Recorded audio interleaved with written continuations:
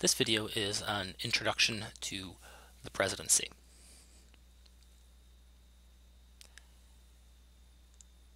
In this slide, you have the constitutional basis of presidential power, especially the enumerated powers, which are expressed and enumerated in the Constitution, as well as implied powers, which might derive from the enumerated powers, but which are nonetheless not enumerated. So among the enumerated powers, you have the power to execute the law. The Constitution bestows on the president executive power and authority over government. Uh, what this essentially means is that the laws that are passed by Congress must be executed by the president, and the president gets to decide uh, within the bounds of the law how to execute the different laws uh, that Congress passes. The power of military authority in Article 2, Section 2 um, gives the president or makes the president uh, the commander in chief of the nation's military. Article 2, Section 2 also gives the president the, pow the power to pardon or commute sentences, grant reprieves, that is to say, reduce the sentences of people who have been uh, convicted. Uh, historically, uh, this was uh, important both for reasons of state uh, people, for instance, who would engage in civil disobedience, or people perhaps who um, international relations would go better if we pardoned. Uh, the power of diplomacy uh, is in Article 2, Section 2, and Article 2, Section 3. Uh, the President is given authority to deal with uh, a nation's foreign relations. Uh, the constitutional, of course, enables the president to meet with foreign ambassadors and to negotiate treaties with them, although remember that the power to approve those treaties uh, rests uh, with the Senate. Now, from the power of military authority is often thought that the, the, the power that the president has a limited power to, to wage war. Uh, the Constitution gives Congress explicitly the power to declare war on another country. Um, however, it's true that uh, the exigencies of war, uh, the fact that war can be declared very quickly or that crises can develop very quickly, have shifted uh, the war-making powers uh, more towards the president, who is uh, it is thought capable of more decisive and rapid action than Congress, which needs to convene, meet, debate, and of course eventually make a decision, by which time wars in the modern age may well be won or lost. And so uh, the power to wage war has shifted more towards uh, the president as time's gone by. Uh, but of course, the, the power to wage war is not infinite. The, the president can't just uh, have troops um, go all over the world uh, without eventually seeking uh, congressional approval. Power over domestic security. Does the president have the unilateral authority to dispatch federal troops to assess them to address domestic threats? Um, this is something that uh, the president essentially seized during the Civil War. Uh, the power to call troops, of course, is um, explicitly given to Congress, but once again, the nature of domestic threats may be such uh, that uh, the president needs to respond quickly and decisively uh, when Congress uh, really cannot. And in cases of uh, secession, you might have whole parts of Congress, as in the Civil War, uh, that uh, is in fact in a state of insurrection. And so the president, because he is elected by the entire country, has often taken the lead in addressing threats to domestic security, and none more so true today than in an age of terrorism. Other enumerated powers include the power to veto legislation. Uh, this is a very important one in the president's dealing with Congress and largely the source of the president's influence over domestic legislation. Uh, the Constitution gives the president the power to veto. Um, after Congress passes a bill, the president can veto it, which means prevent it from becoming law. Congress can overturn the veto uh, if Congress can get two-thirds majorities in both the House and the Senate. Uh, and then the president's veto will be overturned and uh, the bill will become the law nonetheless. But because it's very hard to get two-thirds of Congress to agree on anything, uh, in practice the power to veto is quite a big block to congressional lawmaking. Uh, and what this means is that the Congress can, I'm sorry, the president can send signals to Congress and saying, I'm not going to sign that bill unless you include this, that, or the other provision. And Congress has to figure out whether it's worth fighting the president on this or whether ultimately they should cave in. And it's usually easier to cave in because, again, the prospect of overriding a veto uh, is difficult. On the other hand, Congress may strategically propose legislation to the president uh, that they know he will veto in order to make him look bad. So, a piece of legislation that they feel the public wants, but that the president is going to veto, Congress may well present such legislation to uh, the president and, and dare him to veto it. If he does, he may end up jeopardizing his reelection chances uh, if the public is not happy with that.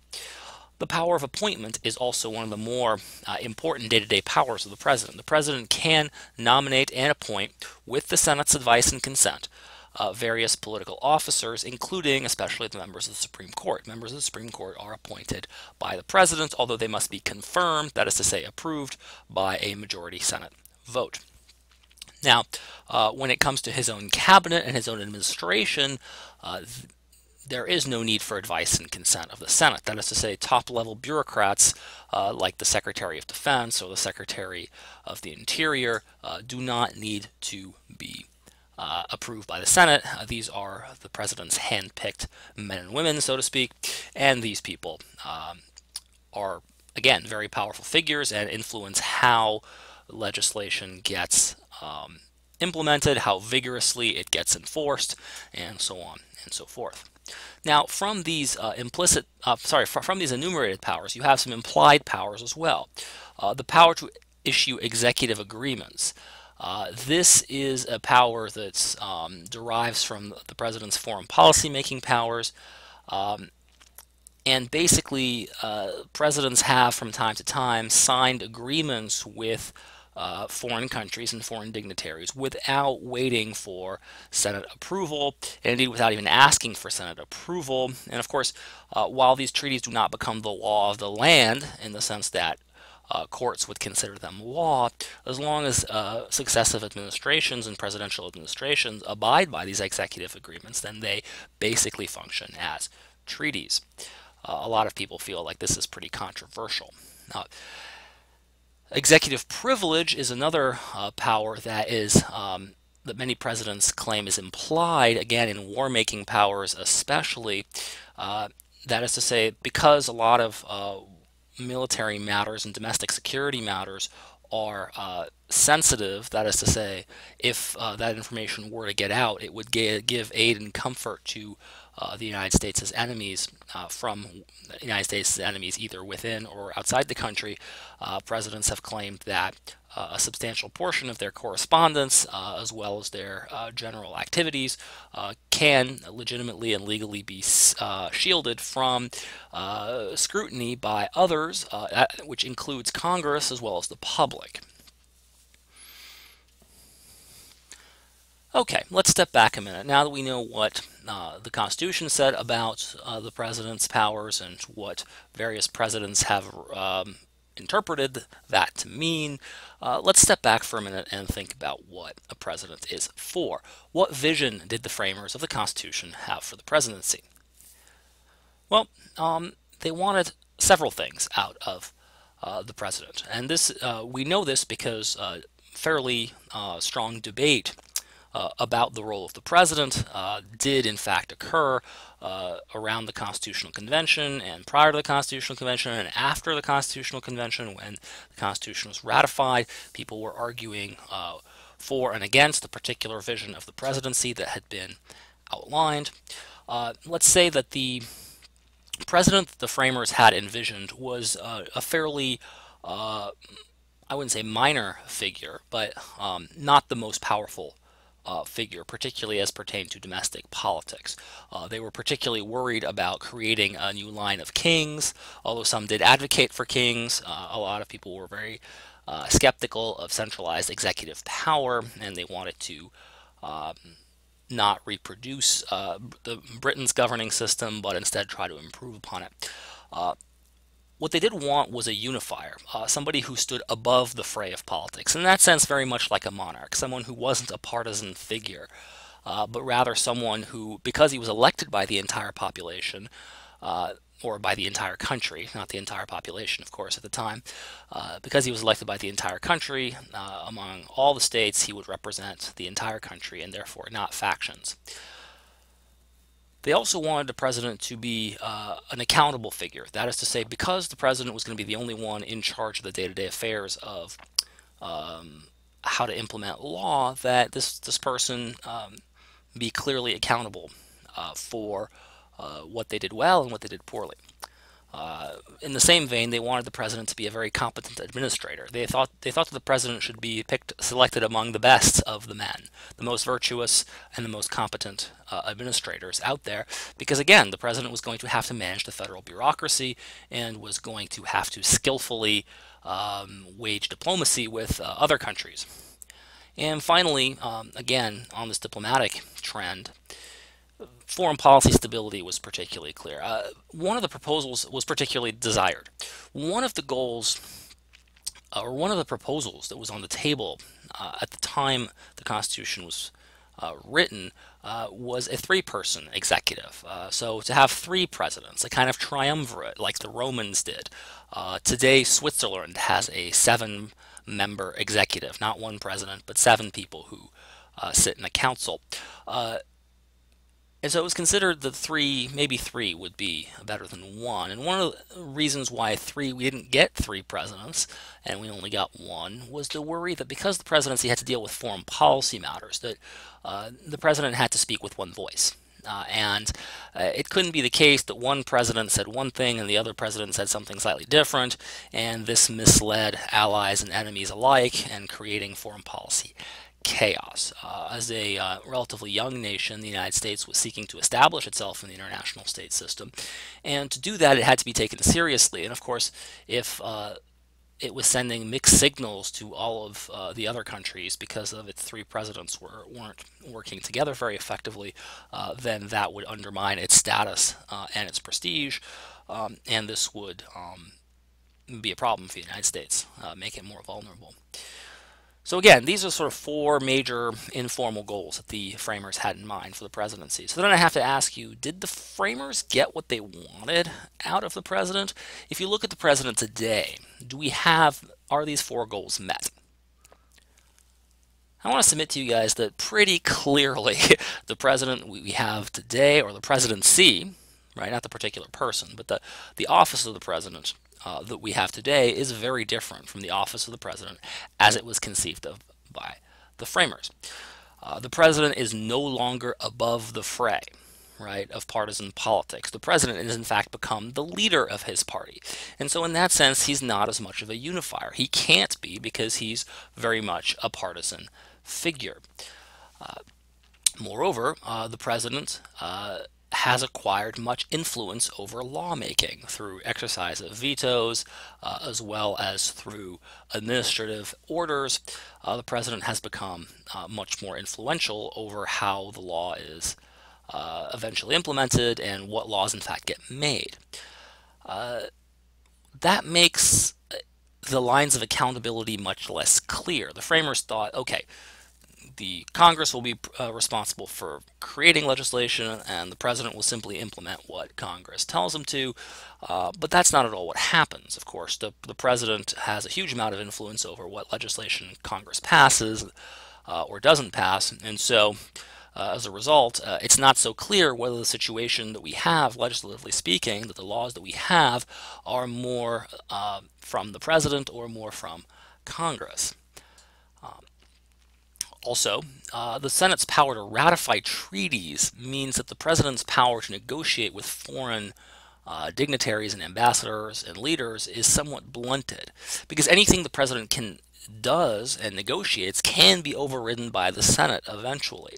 Uh, this is particularly prob problematic when the United States wants to enter um, international uh, agreements, uh, international treaties, inter um, things like the League of Nations. So Woodrow Wilson uh, you know, signed uh, the founding of the League of Nations. Indeed, was was one of the main founders of the League of Nations. But Senate refused to ratify his signature on that treaty, and the United States never joined the League of Nations in the 1920s. Uh, more recently, agreements on climate change negotiated by President Obama uh, were not ratified by a Republican Senate, and so uh, the United States did not join uh, the Kyoto Protocol and other main international agreements on limiting greenhouse gases. Uh, and of course, um, this um, this power of the Senate to override what the president does in his foreign policy uh, actually uh, kind of gives voice to some of the worst fears of um, of the framers about this lack of foreign policy clarity about what the United States' stance really is. But uh, we can still ask whether these evolutions are a bad thing. After all, it might be that these evolu this evolution is largely necessary, um, and so that these additional powers um, that and disabilities that the president has contracted over time uh, are in fact uh, a good thing. And that's uh, I'll leave that for you to decide. Now, it's worth noting that in the United States system, the United States president is a very powerful figure when his party is in control of both houses of Congress, particularly if his party has 60 plus votes in the Senate. This is a fairly rare occurrence, but when it happens, the U.S. president pretty much gets to do whatever he wants. Uh, because the president is the leader of his party, and because the president has such influence already over Congress, even when it's not in his own hands, uh, you might say that um, the president becomes, again, uh, you know, I wouldn't say a, a, dictator necessarily, but has no real political obstacles uh, in his way um, on the legislative front. On the other hand, when the opposing party has made majorities in Congress, uh, the president is much less powerful and has to negotiate uh, with Congress, and these negotiations are, are, are difficult often and time consuming, and, and often result in compromises uh, where neither side really um, feels particularly happy. We've seen a lot of that uh, in the past. Oof. Since at least since uh, the late 1990s, uh, actually, I mean, other, a brief period of two years during the Obama administration, where Obama had had Democratic control of both the House and the Senate, um, and prior to that, uh, it's hard to think of. Uh, you have to go back to the 1970s uh, to see again Democratic majorities uh, like that. Okay. So the point is is that the president's power is rather variable. Uh, the power, president is a very powerful figure. Uh, when his party controls both houses, a weaker figure when he doesn't. Now, this is actually in stark contrast with parliamentary systems, the kinds of democratic systems that we see in Western Europe, uh, as well as Japan and other parts of the world, where there's a prime minister who is the chief executive, um, and the prime minister uh, also happens to be the leader of the dominant party in the legislature. So that is to say that the, the prime minister is not usually independently elected. Uh, the prime minister instead just happens to be the speaker of the house, essentially, the equivalent of the speaker of the house. And so, uh, in that sense, there is no schism between the legislative branch and the executive branch. There can't be. Whoever happens to be in control of the legislature also controls the executive branch. Uh, and so the prime minister, therefore, is always going to be a fairly powerful figure unless he's at the head of a coalition government. But generally speaking, the prime minister can make policy without having to bargain with Congress, with the legislature or parliament or whatever it happens to be called, a diet in Japan. So the executive and legislative branches are fused in that system, and the prime minister tends to be a more powerful figure. This is one of the reasons why uh, in the 1980s, you can contrast Margaret Thatcher, who was the conservative prime minister of Great Britain and Ronald Reagan, who was the conservative president of the United States. Um, and Margaret Thatcher got a lot more conservative legislation done because Margaret Thatcher, uh, as leader of her party and leader of a majority in the UK Parliament, was able to do whatever she wanted, whereas uh, President Reagan had to deal with Democratic Congresses throughout most of his administration, and so therefore was not able to implement his domestic legislative program the way that Margaret Thatcher was. Now, uh, I've sort of hinted at this, but the presidency has evolved over the years. The president, the powers of the president have changed substantially uh, since um, the founding of the United States, and part of this is forced by external events. Uh, external events like particularly wars, World War One, World War Two, uh, the Civil War, 9/11, the Great Depression, the Cold War. All of these um, crises uh, often forced a reassessment of the role of the president because uh, crises tend to require swift, decisive action, and in government, there's really only the president that's capable of doing that. Congress is just not able to organize itself quickly enough to respond to immediate threats. And so, uh, a lot of this evolution is forced by external events, uh, but it's also the case that particular presidents chose to uh, lobby for more powers for themselves and chose to change the nature of the presidency. They didn't have to, but they did. So if you think about uh, Andrew Jackson, uh, Andrew Jackson was the first partisan president, the first president who was very clearly the leader of his party. So very early, right, Andrew Jackson was the seventh president. Uh, the presidency loses its, shall we say, above the fray character and becomes uh, very much involved in partisan politics. The president campaigns on behalf or helps uh, congressmen and senators uh, win seats by throwing his weight behind particular candidates. Uh, so again, uh, Jackson was very much an innovator in that sense. Uh, Lincoln cemented the president's powers over domestic security by uh, claiming powers during the Civil War and in particular making a stand against the against the secession of the Confederacy, um, he essentially established a precedent that the president was going to deal with uh, threats to the domestic integrity of the United States, even from within. Uh, Wilson, uh, at the dawn of the 20th century, right, was the president um, through World War One. Um, Wilson was uh, the man who started going public, and going public simply means uh, using the media to his own advantage. That is to say, being uh, particularly savvy and trying to uh, go past uh, Congress to address constituents directly, to address the nation directly. This was not something the presidents had really done very much of before Woodrow Wilson. Of course, this was perfected by Franklin D. Roosevelt during the Great Depression and World War II when he had these fireside chats on the radio. Um, but Wilson really was the innovator there, where he again bypassed um, Congress and, and again addressed the people uh, very much directly. Franklin D. Roosevelt um, cemented the precedent that the, that the President of the United States was going to get involved in domestic economic policy and was going to take the lead in responding to domestic economic uh, urgencies. Uh, prior to that, uh, the president was just not conceived of as an economic policymaker. I mean, good things happen during during presidencies and bad things happen during presidencies, and the presidents had some control over the establishment of a national bank or um, had some control over, uh, again, tariffs, uh, things like that, but the president really wasn't considered responsible for the economic fate of the nation until FDR assumed that responsibility for the presidency. Economic policymaking was, if anything, up to the states or, or Congress.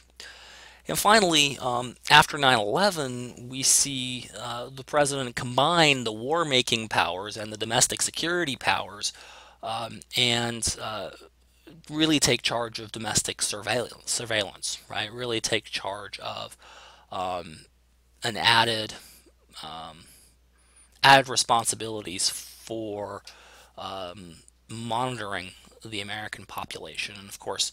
Uh, between the NSA, the FBI, the CIA, and Homeland Security, that monitoring of the U.S. population has indeed increased since 9 11. Okay, let's talk about the tools the president has at his disposal. We've already mentioned some.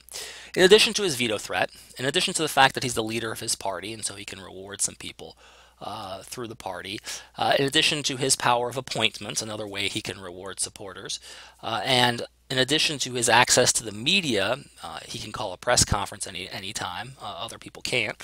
Uh, the president has three formal tools in his toolbox, which he can wield to really um, influence policy in his administration. Uh, he has executive orders, he has executive agreements, and signing statements. Executive orders are the orders that the president issues to the executive branch, um, and they basically tell bureaucrats what to do. So sometimes these actually initiate new policies, uh, particularly if they don't contradict standing law, and particularly if the president can find a congressional resolution authorizing him to do these things. Um, the president can issue executive orders even when Congress didn't really explicitly say he could do that.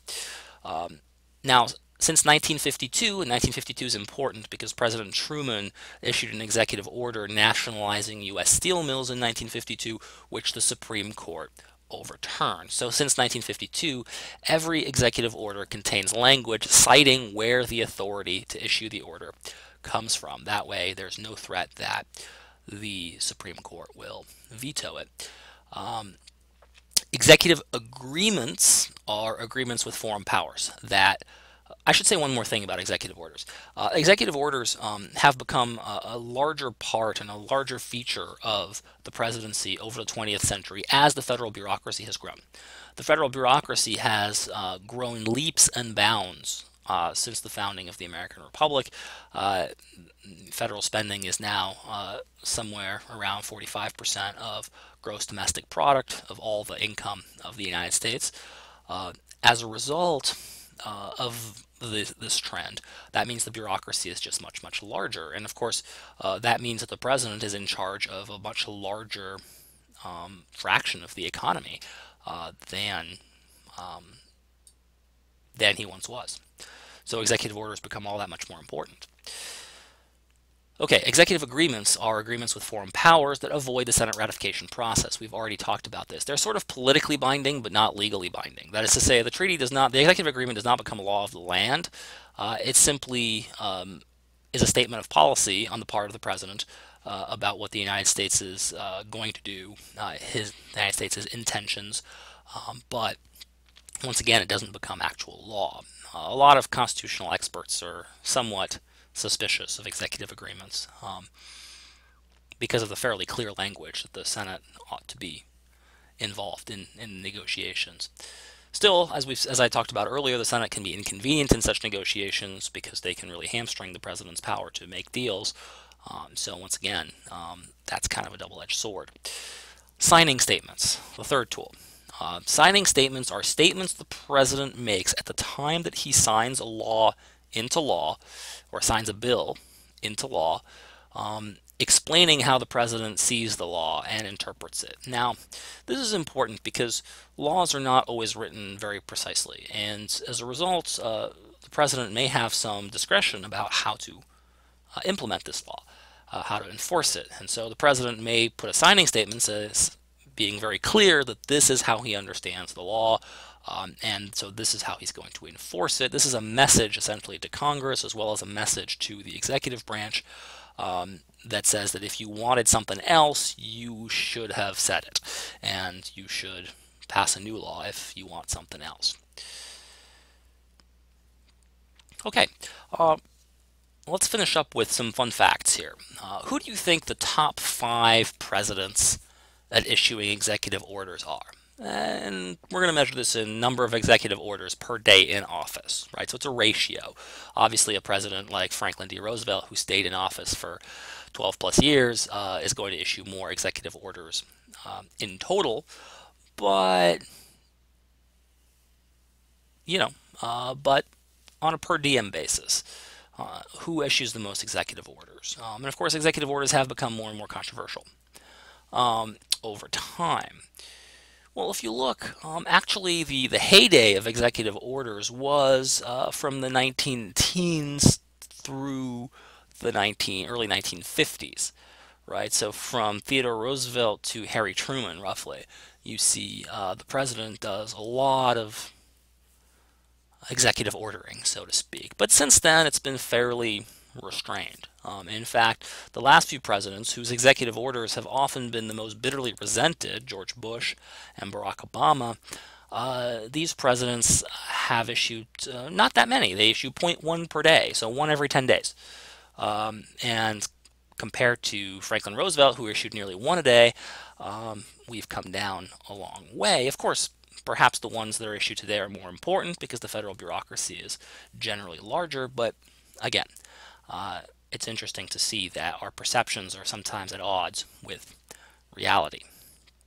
Now, a word on executive orders, right? Wars have been fought under executive orders. So the intervention of the United States Army in Kosovo in 1999, for instance, was fought without a congressional declaration of war. Uh, big policy changes have been mandated using executive orders. Uh, racial integration of the armed forces. Truman decided on his own that units would be no longer segregated. Uh, desegregation of public schools. Again, Eisenhower did this essentially on his own. Um, FDR decided to intern Japanese citizens on his own recognizance without congressional approval. These are all measures that the presidents felt like they needed to take and use executive orders to do. And these are fairly big changes, at least for, for the people concerned. Uh, of course, the Supreme Court can declare executive orders unconstitutional, just like it can declare legislation unconstitutional. It can say the president has overstepped his powers. So Truman's nationalizing of the steel mills, unconstitutional. Clinton's order that the federal government should not contract with organizations, particularly businesses, that employ strikebreakers, unconstitutional. Again, you don't have the power to do that, apparently. Now, of course, Congress can overturn executive orders if they're not happy with them. Congress can simply pass a bill that supersedes executive orders, and in so doing, of course, um, yeah, in so doing, uh, the executive order becomes null and void. All right. Well, I hope that was uh, at least somewhat informative. Uh, as always, if you have questions, uh, you know how to reach me.